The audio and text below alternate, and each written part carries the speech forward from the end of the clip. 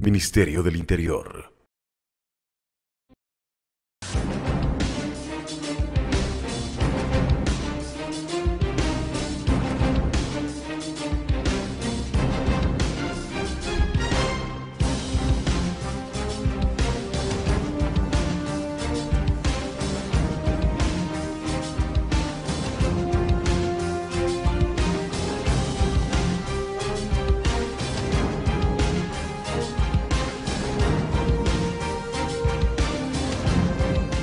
La Policía Nacional a través de la CID-PROVAC y las diferentes unidades tácticas y técnico-científicas del día de hoy ejecutaron la operación Fortaleza 16.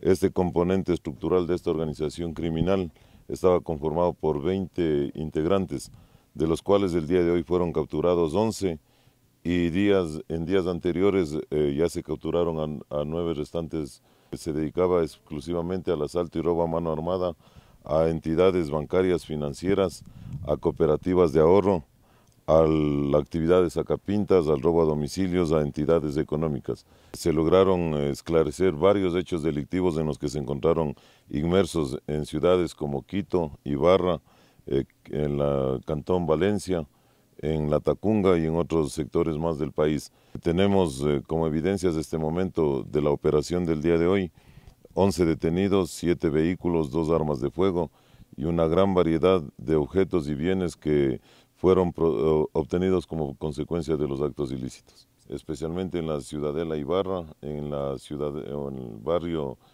La Roldós, en la mitad del mundo y en el sector de la Real Audiencia.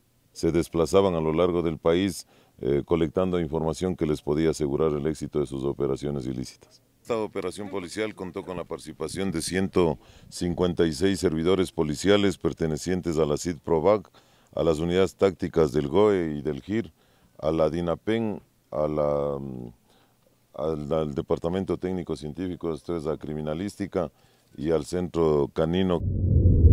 Ministerio del Interior.